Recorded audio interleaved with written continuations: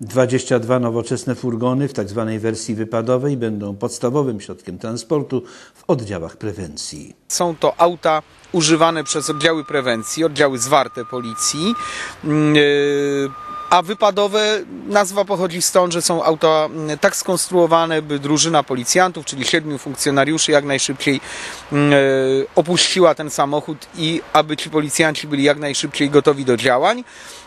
Mamy na myśli policjantów wyposażonych w sprzęt ochrony osobistej. To są najczęściej policjanci mm, używani w sytuacjach y, tłumienia zamieszek, mm, y, przywracania naruszonego porządku, na przykład podczas imprez masowych, podczas meczów. Mercedesy zastąpią najbardziej wysłużone Volkswageny. Są to samochody mm, nowoczesne, wyposażone w zasadzie we wszystkie niezbędne dzisiaj urządzenia, takie jak ogrzewanie niezależne tylnej kabiny, jak klimatyzacja, jak specjalna sygnalizacja pojazdu uprzywilejowanego, ale wykonana w technologii LED, czyli w technologii praktycznie nieobciążającej instalacji elektrycznej samochodu. W najbliższym czasie podkarpacka policja wzbogaci się też o ambulans sanitarny.